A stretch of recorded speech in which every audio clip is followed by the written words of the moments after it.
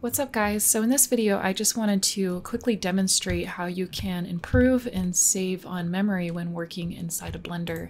So for instance, I was UV unwrapping uh, this Rex and you could see my memory down here at the bottom. So I'm at, I'm at 5.2, I'm imagining that's gigabytes.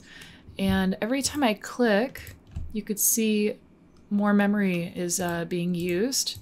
So I was at the point where I was at 14 gigabytes and just selecting edges was super slow for my computer. And my computer is pretty new and it's, I would say, fairly optimized in, in terms of uh, equipment.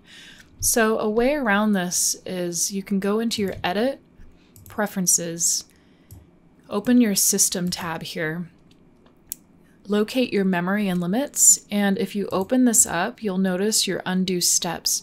So I think by default it's set at 32. So for just my purpose of UV unwrapping, and just simply working with edges, I changed this to five and I saved it.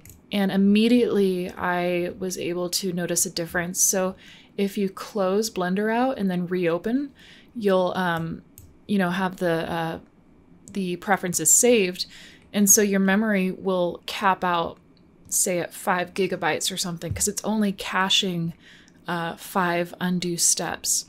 And I found this was a great way to uh, help my performance. Um, so hopefully this helps you. This is just a little quick tip, and uh, let me know what you think. Take care.